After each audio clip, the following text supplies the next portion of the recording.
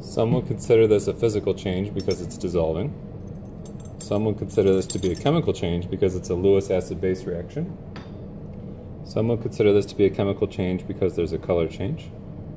Some would consider this to be a chemical change because it's a new substance form. Some would consider it to be a physical change because it's reversible. Some would be considering this a chemical change because there's bonds broken and remade.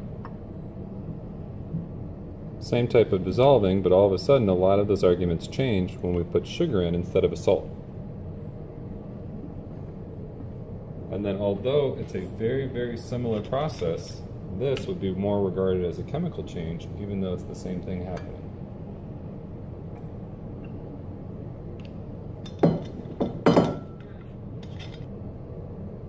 So why do we even bother?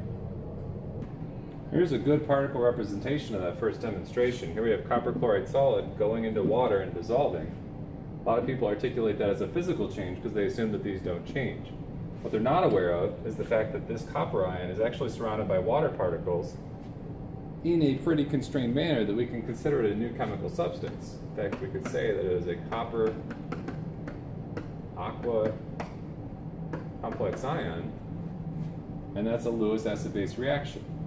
Here, we have copper undergoing the same transition, but instead of being surrounded by water particles that I haven't drawn here, it's being surrounded by ammonia. And because of that obvious color change to that royal blue, that we formed a new chemical substance, people will assign this as a chemical change and this is a, is a physical change, even though the electronic process between them is identical. This is the electrons on the nitrogen and the ammonia are interacting with the copper. This is the electrons on the oxygen of the water are interacting with the copper.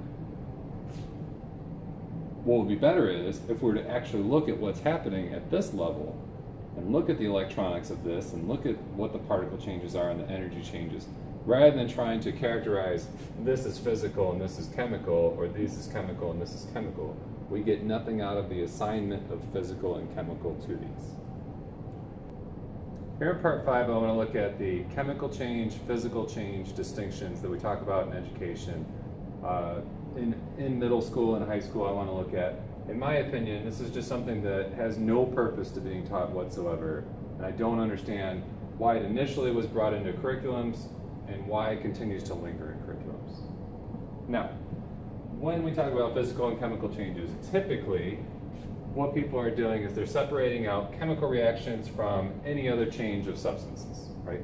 And how do they distinguish that? They don't go through and highlight that there are three different types of chemical reactions that all involve charged particles changing.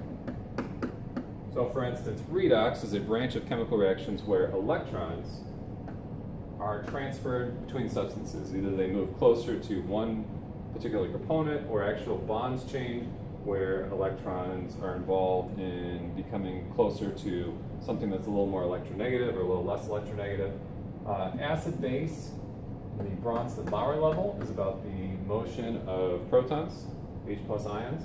Uh, but really, when we get into Lewis level, it's again about the change in electrons. So it's about having an electron change its interaction to another substance.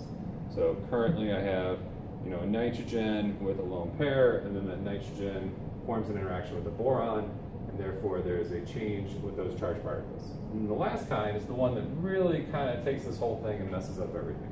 And that is precipitation. So that is taking two different types of ions in solution, and a double replacement reaction occurs, and one of the ions from one solution and one of the ions from another solution form a precipitate, and we have cations and anions changing their positioning and changing their interactions, and therefore that is a chemical reaction. So every chemical reaction that occurs is one of those three things. So if you have a synthesis, a decomposition, it'll fit into one of those categories. If you're in organic chemistry and you do a synthesis, every reaction is always about this because it's always about the motion of charged particles. Instead of teaching that chemical reactions are about charged particles changing their positioning and changing what they're you know, next to, we just instead flood students with a whole bunch of observations without really anything to formulate. And so we give them this chemical physical change, but that's not a good decision. It would be much better to avoid giving them something that's kind of faulty. Now, when people talk about chemical changes, they use terms like irreversible, new substances formed, bonds broken or formed, energy changes, or some variation on this. So a lot of people will say things like there's a color change, there's a gas produced, there's a odor change, there's some kind of physical appearance change that indicates this. The problem with these is that none of these actually work all the time, and all of these work for both. So there are chemical changes that are irreversible, and there are chemical changes that are highly reversible. Acid-base reactions are incredibly reversible. There are chemical reactions that occur where a new substance is formed, and then there's a chemical reactions where that's not exactly the case in a way that distinguishes it from physical changes. There are chemical reactions that involve bonds breaking and being formed very frequently, um, but there's some where intermolecular forces change, and the actual change itself is based on an electronic structure of the different particles involved. Uh, there are energy changes in both chemical and physical changes about, about. And I also want to point out that this one in particular, people assume is exclusive to chemical change when it's really not. So if I take an ionic compound and I hit that with a hammer and it shatters into pieces, the majority of people assume that that's a physical change. But if I actually look at what's happening, I'm separating particles out from each other, which means that I'm actually breaking bonds as I do that. Even if I melt this, if I were to melt a salt, what I'm doing is I'm breaking the interactions between these particles that are bonds. And so salts and metals are all connected particle by particle using bonds. And so this is actually a terrible way to distinguish because it focuses really only on what's going on here and sometimes here and completely ignores this, which sets a student up for an improper ability to go through a later time in chemistry and really be able to give a deep analysis of what a chemical reaction is. So we have these kind of guidelines that we use. My problem is they lead to very poor discussion because they're faulty. So when we get to a point that's complicated, where we can get into a discussion on, well, what are the electronic changes? You know, is it an intermolecular force change? Is it a chemical bond change? Should that matter? We avoid all of that. Instead, we do things like, well, did we see a new color? Okay, we saw a new color, but I want to say it's a physical change because I've always said dissolving is a physical change or dissolving is a chemical change. And so the discussion we get is so limited because it's restricted by these arbitrary rules that are inconsistent. And so when we go through, what are we actually teaching students when we do these chemical physical change analyses? And then at the end of this, I assume that most teachers would say that the reason why we do chemical physical changes is a learning objective. We're trying to get students to do analysis of what's going on at the particle level, which I, I like that, this is just not the good means to do that. What would be a better means to do that would be to not characterize anything and not say that melting is going to be grouped with vaporization or that melting is different than precipitation, but rather to look at melting and go, what's going on in melting? And then we can compare that with a specific example, but there's no need to link these two things to some middle ground difference. We say, ah, melting fits into this category and precipitation fits into this, because it just doesn't add anything to that discussion. If we want students to look at what melting is and have a solid understanding of that, we should look at what melting is and have a solid understanding of that. Adding the physical change to that gives the student the ability to go, oh, I know that melting is a physical change, so therefore I think I have an understanding of it, when they really have not done any analysis on what's going on with my charged particles, what's going on with my particles in these particular changes. They could go through and do analysis of what are the energy changes, are there bonds being broken and formed? Sometimes yes, sometimes no. Is there a new substance form would be a great discussion. Is a liquid of a substance different from the solid of the substance? You know, are the particles the same or different? And there's a lot to that discussion. It's not as obvious or as simple as people would make it out to be. So at the end of the day, I feel like the learning objectives behind doing a physical chemical change just routinely fall short. They end up being a thing where a teacher's discretion is used to categorize different things. Even if you look at the first three examples there, there are tons of disagreements on whether those are chemical physical changes, even though the time that the uh, salt was dissolved is an acid-base, Lewis acid-base reaction, at least for the copper, and the inverse of a precipitation reaction, essentially.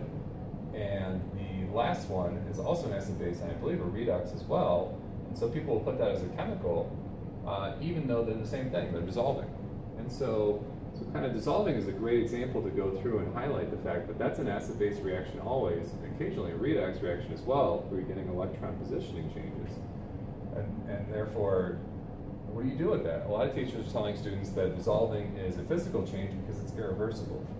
So what really is the point of the teacher who distinguishes it as this versus the teacher who does it as this? A better discussion would be, what actually happens when something dissolves. What can we infer and what can we see in terms of evidence of that? At the higher level, I've never seen anything where someone at the higher level needs to come through and go, ah, yes, I have a great realization, I have this new discovery, and I attributed it to the fact that we have this chemical versus physical distinction. There's no need when you're doing an organic synthesis to stop and go, well, hold on, is this substitution reaction a chemical change or a physical change? The level of specificity grows so far beyond this that this distinction becomes irrelevant. So what we have is we have something where the learning is, is destructed or inhibited by this physical chemical change assignment. And there's no end game where if you were to go into career that you would need to use this lingo. No one's going to use chemical change or physical change to distinguish between some high level work at a PhD level chemistry analysis. And so there's no end game for this. And then we're also missing that a lot of these physical changes get grouped, where melting is taught as the same thing as vaporization, when really there could be some key differences between what's going on in this and what's going on in this that a student will then gloss over and miss because of that categorization. So I guess at the end of the day, I don't feel like there's any end game where something purposeful comes out of this distinction. I feel like it negatively impacts the learning involved by restricting the discussion and also adding an element of disingenuous, disingenuousness to the discussion.